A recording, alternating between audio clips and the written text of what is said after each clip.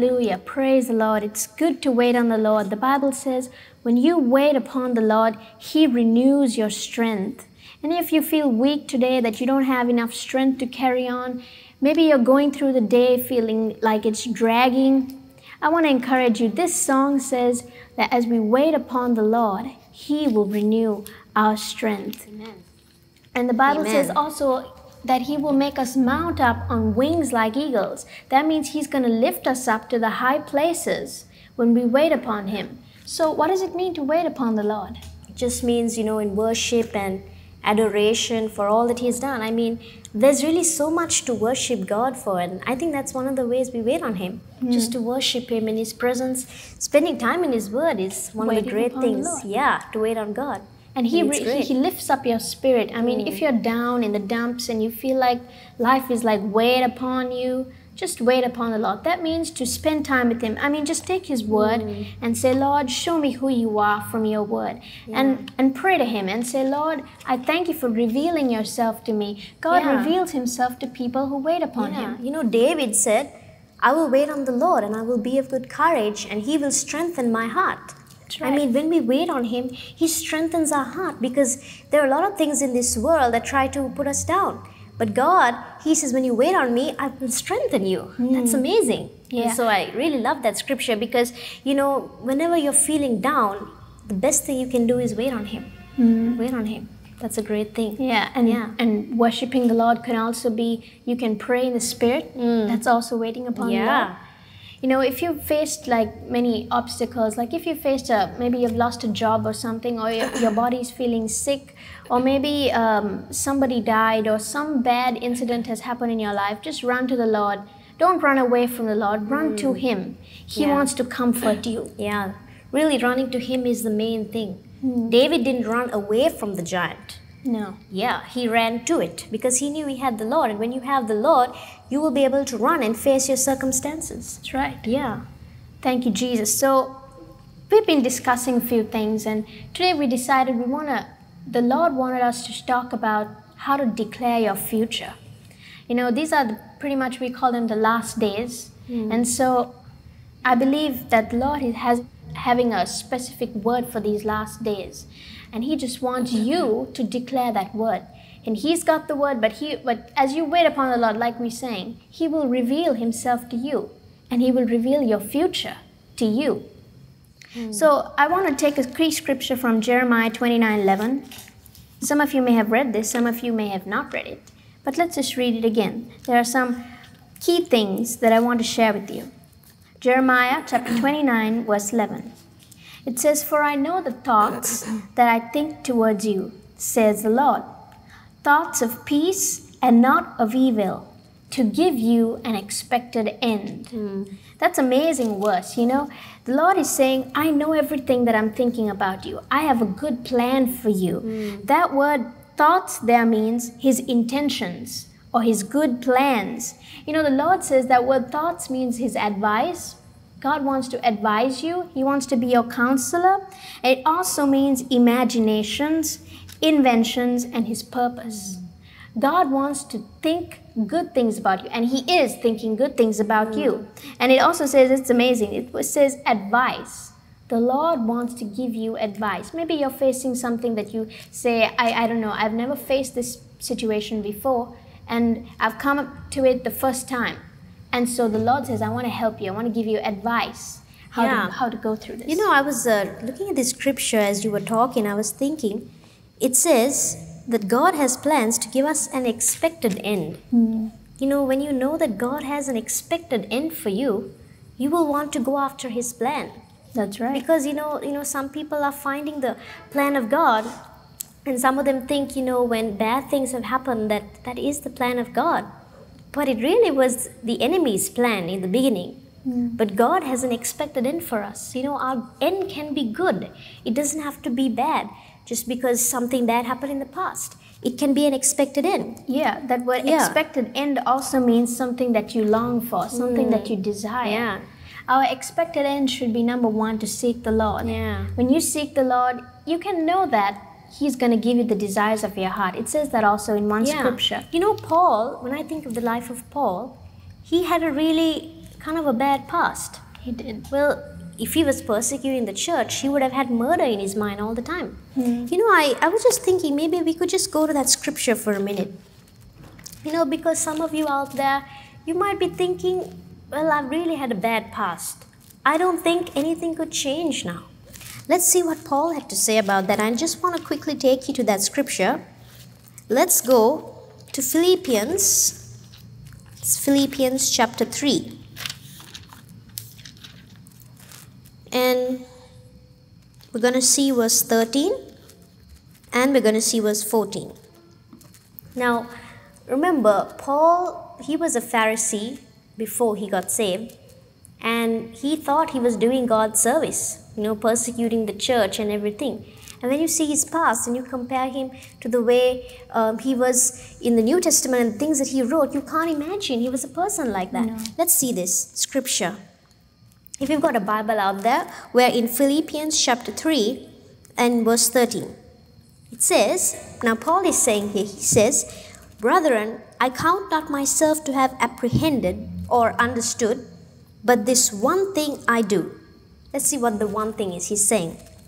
He says, forgetting those things which are behind. And this is the amazing part reaching forth unto the things which are before. Let's see verse 14 as well.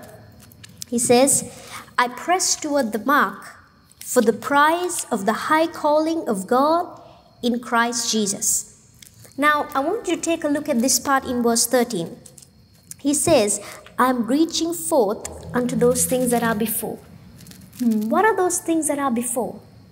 The things that God planned for us before the foundation of the world. Amen. Those are the things that are before. You know, those are the good he- plans God has for us. Amen. And he Yeah. says reaching. It means he has to keep pressing. Mm, I mean, yeah. the, the future is not going to pull you. Yeah, you have not. to press into the future. Your past will pull you back. Mm, that's but right. But your future, you have to press forward. Yeah, that, that's good because the past will always try to be like a chain trying to hold you back. But God wants you to let go of those chains. And even as we sang the song, I will wait on the Lord, that will release you from a lot of bondage. Hmm. Because God wants us to reach for the things that are before. Amen. That's right. And your Yeah. future is not just talking about, you know, 20 years from now or 40 years from now. Your future could be the next minute. Hmm. Your future could be tomorrow. Yeah. So God is wanting good things, not just in 20 years' time, not in 40 years' time. God hmm. wants to give you good things and His good thoughts for the next minute, for the next Yeah. day. And you know, there is no person that has done anything wrong who can say, Well, my, I, my past is so bad, I don't think God could receive me. I don't think. But when you look at Paul, Paul says, I was the chief of all sinners. Hmm. Means he says he was a real sinner. Hmm. I mean, he was a Pharisee But then he says, I was the chiefest of all sinners. Right. You know, he was hiding a lot of pain inside of him, and Jesus knew it.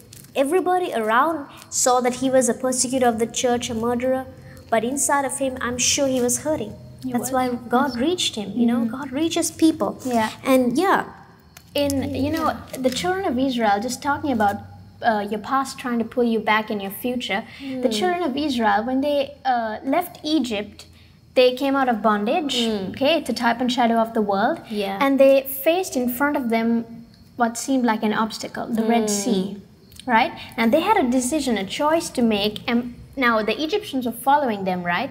And they had the ability to pull them back as long as they stayed where they hmm, were. that's right. But the Israelites had to choose to go through that Red Sea. Hmm. Sometimes your, your obstacle or your problem may be right in front of you and your past is at the back. It is normally like that. And normally you have to choose to press forward through that problem, through that obstacle to get onto the other side. Yeah, yeah, that's your right. future is that the same way. Otherwise, the world's going to try to pull you back. And I think that's the reason why Paul is saying, I press toward the mark. Yeah. Because he would have had a lot of thoughts in his mind. Well, what am I doing here? You know, you know, if you read um, in Corinthians, he gives a list of all the persecutions that came upon him after he became a Christian. It was terrible. I think, I mean, he wouldn't have ever thought he would have been going through all those. Mm. But because he was serving the Lord, people didn't like it. And so they thought he was the problem. Yeah. And the Jesus that he was preaching, they mm. just didn't want that. But Paul says, I'm pressing toward the mark. You know, there mm. are times in this world you have to press toward the mark of God. Yeah. Because in the world, you know, the Bible says that the world is passing away, everything is passing away, but the word of the Lord abides forever. Abides forever. And because the word of the Lord abides forever, that's what we press after. Hmm. And God, you know, um, I said this last time in the program also. God has not just given us a book just full of pages and, and, and words and things like that.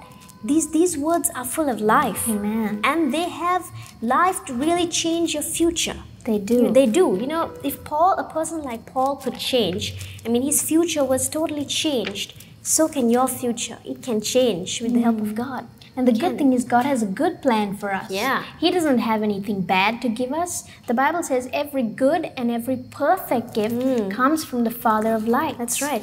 He wants to give us all good things. Yeah. Just going back to Jeremiah 29 11. The Lord says, I know the thoughts that I think towards you. So He has good intentions for us. And He says, thoughts of peace. Hmm. That word peace is powerful. Now, the opposite of peace is confusion.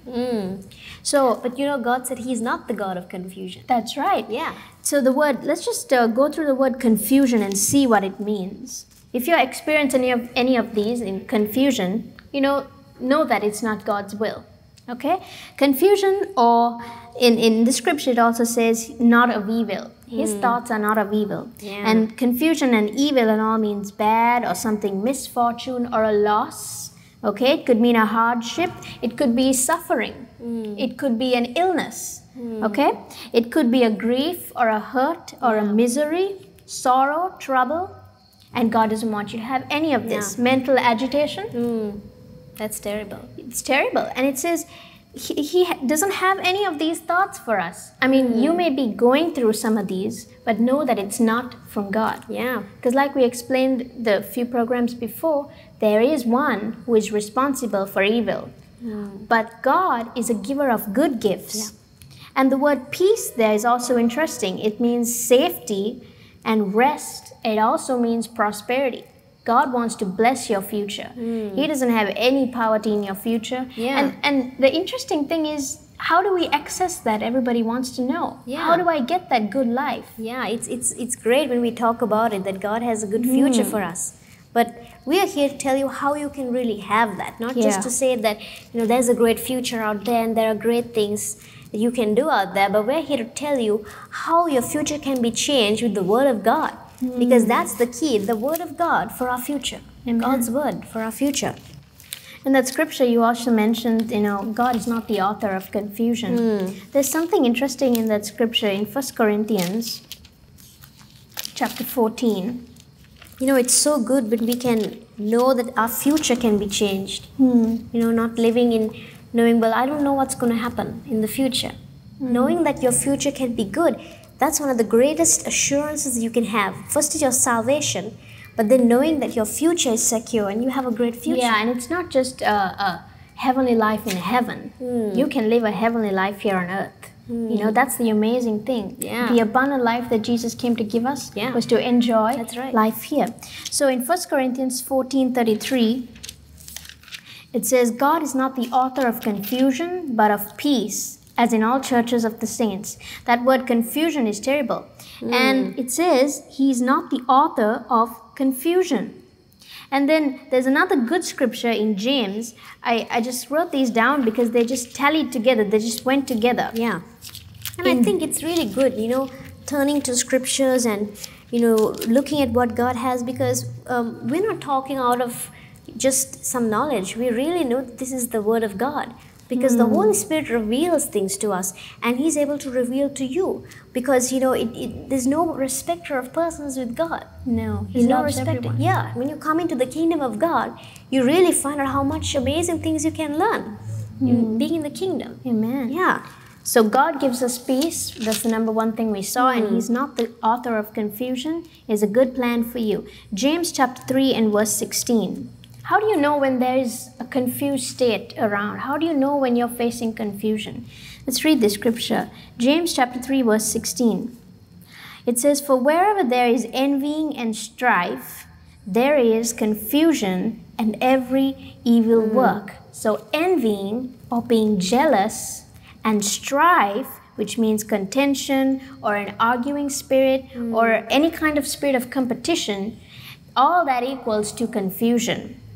And it leads to every evil work. And in Jeremiah, he said he doesn't have any thoughts of evil for Yeah. us. So if you're facing all these, these areas of confusion, envying, strife, know that that's not God's plan. Yeah. God's plan is not for mm. envying and strife. Yeah, Jeremiah 29 11 is the foundation that his thoughts are good toward us mm. and expected it. Yeah. Confusion is not from God. No, it's not. You know, God doesn't make people confused. It's not from Him. Hmm. That's the main thing you need to be settled is that God is not the author of confusion. There is a devil out there Hmm. Yeah. in this world. That's And- right. And yeah. and in your life you may have seen somebody who is having like it seems like they have everything that they need and you may be feeling a bit of jealous coming Yeah, a jealous spirit coming upon yeah. you and you may say how come God that person has everything and I don't have a good future how come my life is miserable and terrible right now Yeah. well that's not God's plan Yeah. God doesn't want you to be jealous of somebody else Yeah. God will bless you just as much as he has blessed whoever else that person is Yeah. God loves you so much. Like you said, He's no respecter of persons. Yeah, he's no respecter of persons. Hmm. And that's the great thing about living the life that God has for you is knowing that God loves me equally. I mean, he doesn't he's not favoring somebody else. You know, he's not favoring somebody else and you know, I remember I was talking to some a girl on the phone, one of my friends, and she's saying, "Well, God, you know, God favors you more than me." And I said, "That's not true." I said, God loves you equally. You just have to know that His love is so real because the more you spend time in His Word, the more you begin to understand how much of love He has for you. He's given us His Word. Yeah, There is- that's yeah, the you know, there is no thing. pro- need for God to appear. You know, there is no need for that. Jesus was there and people still couldn't believe in Him. Hmm. But you know, when you look at the disciples, their future was totally changed because they had the Holy Spirit in them and they did greater works. You know, their future was changed. You know, Jesus came, when you see really, He was actually changing those 12 disciples' future Yeah. being there on the earth. He was changing their future, their destiny. They couldn't see it that time. But when they got the Holy Spirit, they saw their future was changed. Hmm. And that's what God does. He changes our future if we just let Him. That's because they pressed toward the future. They didn't go back to their past. They didn't go back to their mistakes. They chose to press forward. Jesus said this, and we're going. You know, it also reminds me of that story when Jesus was in the boat with the disciples, and he said, "Let's get into the boat and go on to the other side." He hmm. didn't say, "Let's go and swim in the boat." He didn't say, "Let's just go and stay, you know, in the middle of the sea and see how the weather feels like, how it's going to go. If the storms are bad, let's head back Yeah. home." He didn't say that. No. We're going on to the other side. That's Yeah. the word of the Lord. Yeah. And so, in the middle of the sea, there's a big storm, there's a big uh, turmoil, and all this wind and everything is against the ship. And so the disciples get troubled, they get afraid, and they, they wake up Jesus. Jesus was sleeping in the boat, and then they wake him up and say, Don't you care that we perish? They Don't thought you-" their future was going to change. Exactly. Yeah. They thought their future is not going to be there anymore. But Jesus had already said, We're going to the other side. Yeah, one word from God can change your future. Yeah. Can change your mindset. Yeah. And so Jesus woke up and all he said was, Peace, be still. Hmm. He spoke words that took them to the other side. He wo- Yeah. spoke words. Yeah, you know, I was even as I was meditating on this subject, you know, let's quickly just go to First Peter. You kind of really get a understanding of really how you can love life. And I think that word love life is some word we use today a lot. You know, mm. I want to love life. And you know, the Bible really has an answer for that. Let's just see that quickly in First Peter chapter 3 and verse 10. Now let's pay attention to these words. You know, I've highlighted them and just pay attention to these words because they're really important. It says in 1 Peter chapter 3 and verse 10, it says, For he that will love life and see good days. How many of you want to have good days in your life? Amen. I want it. Let's see what it says. It says, Let him refrain his tongue from evil and his lips that they speak no deceit. Hmm. And verse 11 is also talking about doing right and searching after peace. But I want to really focus on that first verse, verse 10. Let him keep his tongue from evil. Now that's kind of the key where we can love life and see good days. Love life It's- means yeah. to enjoy life. Enjoy life. Hmm. That means you know you want to enjoy your life, which is your future, of course, Yeah. and you want to enjoy and see good days. Hmm. It starts with our Nobody tongue. plans for sickness to come upon themselves. Nobody Yeah. waits. I'm, I'm waiting for this sickness to come and hmm. attack me. Nobody wants that. Everybody loves life. Yeah. Wants to see good days. And the key there is knowing how to keep our words in line with God's word. Amen. That's the Yeah. key. That's the right. You know, those disciples could have actually drowned. They would have actually drowned if Jesus didn't come and speak those words. no, they would have drowned. Because they said, We are dying. Not that we're going to die, we are dying. We are perishing. Yeah, we are perishing. They could have. Yeah. Until Jesus came and rebuked them. Mm. He had to words- change yeah. those words so that they could go on to the other side. You know, sometimes you have to stop the evil words that even others try to speak over hmm. your future. Yeah. A lot of people they speak bad words. Oh, you you will never make it. You know, Yeah. you have a bad life. You know, hmm. I mean, uh, maybe you you've done some several wrong things in your life, and people come and hmm. judge you and they speak evil over you. But you know what? You don't have to be moved by those Yeah. words. You, have to say what Jesus said. Yeah. If you've been walking with Jesus, you've been spending time with His Word, you will speak His Word. Yeah. And what is it to speak His word? Well, speak the promises of God. Like, say, sickness is really attacking your body. And though you've heard this many times, the easiest verse you can really say is, By the stripes of Jesus, I'm healed. Now, you could really change future of your life by saying those words over and over again. That's You know, the woman with the issue of blood in in uh, in the book of Mark, she said she was having a disease and it was terrible. I mean, nobody could cure it, no doctor at all. But she said out of her mouth, she heard of Jesus' words. Now, see, she heard the word of God and she took it. And she said, If I just touch his garment, I will be made whole. You know, I like what she says there. She doesn't say, I will be healed And- yeah. because she wanted to be whole also in her mind. Hmm. You know, you know, if thoughts start coming again, what if I get it again? She said, I'm going to be whole, even in my mind, even in my thoughts. Hmm. And God's words can change the situation. Even in my spirit. yeah. She, maybe she probably got salvation. Yeah. She You know, her future was changed there Her again. future was changed. Her future was changed there just by knowing the word of God that she could be whole. She Yeah. changed her future. Yeah, and, and there's an interesting thing that I wrote down here. The Lord said, God is the only one who can reveal your future to you. No soothsayer, no witchcraft ways can reveal your future to you. They may say, I can tell you your future. Just give me your palm. But you know what? Hmm. God is the only one who can reveal your Yeah. future. And sometimes when you go to these people, they can give you a bad future. Hmm. But you know that's not from God. Yeah. Like we said, God doesn't have bad future. They don't hmm. even have a future to tell you, those kind of people.